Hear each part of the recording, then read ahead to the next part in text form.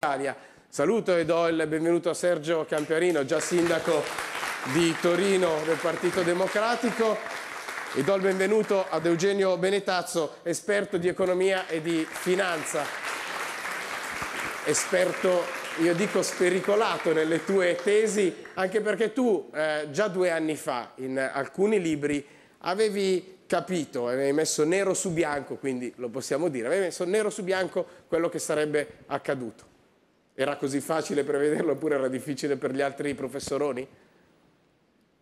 L'analisi macroeconomica che è stata fatta a suo tempo circa l'andamento che avrebbero avuto le principali variabili economiche non solo in Italia ma anche in Europa dava indicazioni di una precisa via, non solo per quanto riguarda il nostro paese ma anche per tutta l'economia occidentale. Nello specifico, a fronte di un cambiamento di scenario che definirei quasi epocale per l'emersione di paesi e di economie che fino a 15-20 anni fa nessuno considerava sui libri accademici e purtroppo il deterioramento dal punto di vista del potenziale produttivo ed economico delle economie trainanti eh, il pianeta, ci troviamo a vivere uno scontro epocale che porta alla ribalta uno, uno scenario che per adesso pochissimi sono ancora in grado di, eh, di quantificare. C'è un declassamento anche della Francia, siamo tutti messi male e quindi il vecchio continente ormai è un continente decrepito, quello dell'Europa? Non è tanto un continente decrepito, è un continente che si trova, non tanto il continente, ma, ma le macroeconomie occidentali sono viste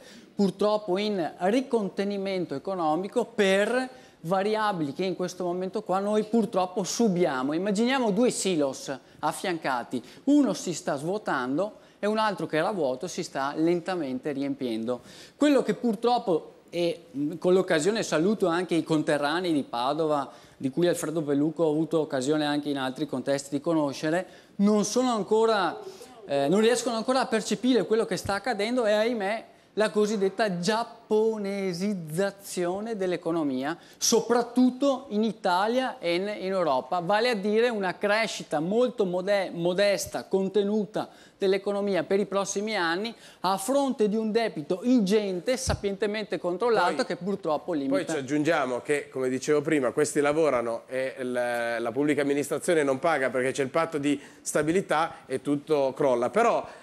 entriamo dentro la carne viva di questa, di questa impresa che eh, era il modello economico, il famoso miracolo del nord-est, era la locomotiva